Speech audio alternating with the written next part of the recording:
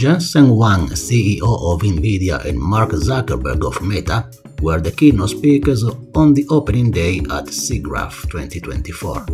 Jensen Huang had a long chat with a reporter from Wired magazine. Then he sat and exchanged notes with Mark Zuckerberg.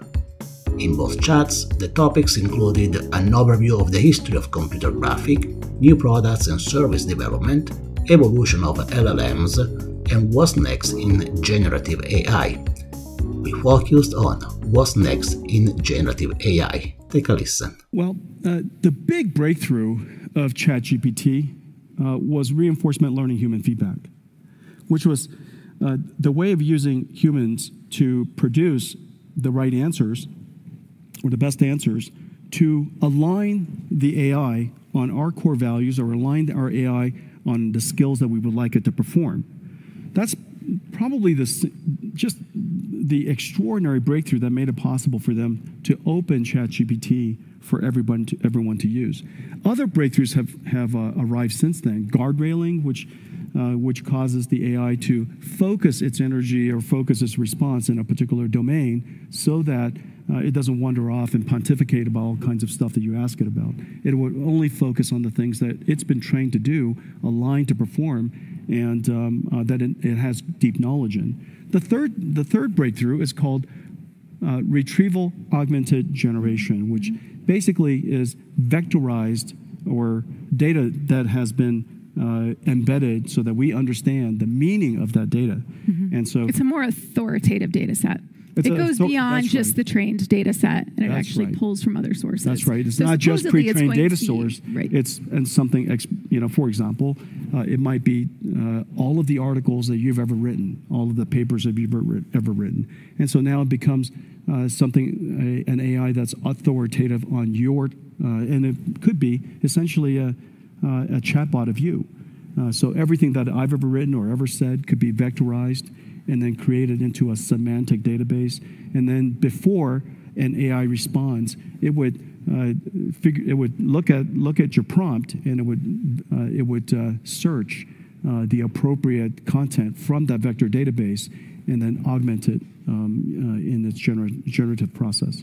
Only uses their data. So this only uses all of the data that's available on Shutterstock uh, that they have, have the rights to, to use to train. And so we now use prompt generator 3D. We put that in Omniverse. Omniverse, uh, as you know, is a, is a place where you could compose uh, uh, data and content from a lot of different modalities. It could be 3D, it could be AI, it could be uh, animation, it could be materials. And so we use Omniverse to compose all of these multimodality uh, data, and now you can control it. You could, you could change the pose, you could change the placement, you could change whatever you like. And then you use that image out of Omniverse to condition the prompt. Okay, so you take what comes out of Omniverse, you now augment it with the prompt. It's a little bit like augment retrieval augmented generation. This is now 3D augmented generation. Getty, uh, the edified model is multimodal, so it understands the image, understands the prompt, and it uses it in combination to create a new image. So now this is a controlled image. And so this way, we can use uh, generative AI as a, as a collaborator, as a, you know, as a partner to, to work with us um, and uh, uh, we can generate images exactly the way we like it. Um, so the ranking was was important, but now over the last few years, it's gotten to a point where more of that stuff is. Um, is just different public content that's out there. The recommendation systems are super important because now instead of just a few hundred or thousand potential candidate posts from friends, um, there's millions of, of, of pieces of content, and that turns into like a really interesting recommendation problem. And with generative AI, um, I think we're going to quickly move into this zone where not only is, is the majority of the content you know, that you see today on Instagram you know, just recommended to you from kind of stuff that's out there in the world that matches your interests, whether or not you follow the people. I think in the future, a lot of this stuff is going to be created with these tools too. Some of that is going to be creators using the tools to create new content. Some of it, I think, eventually is going to be content that's either created on the fly for you, um, or or or kind of pulled together and synthesized through different things that are out there.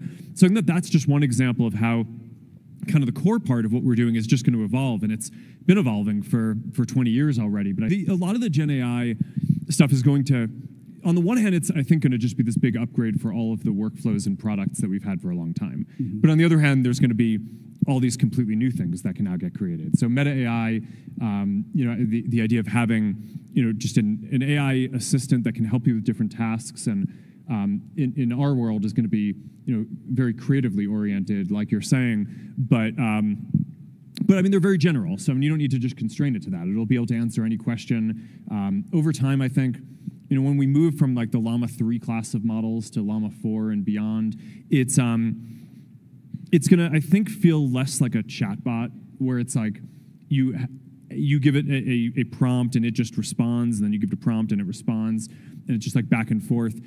I think it's gonna pretty quickly evolve to you give it an intent and it actually can go away on multiple time frames. And I mean, it probably should acknowledge that you gave it an intent up front. But I mean, you know, some of the stuff I think will end up, you know, it'll spin up, you know, compute jobs that take, you know, weeks or months or something, and then just come back to you when like something happens in the world. And I think that that's going to be really powerful. So I mean, I'm, today's I'm AI, as you as you know, is kind of turn based. You say something, it says something back to you.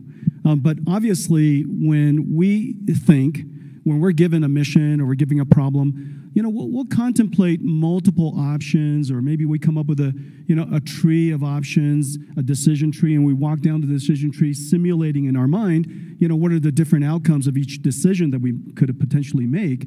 And so we, we're doing planning. And so in the future, AIs will, will kind of do the same.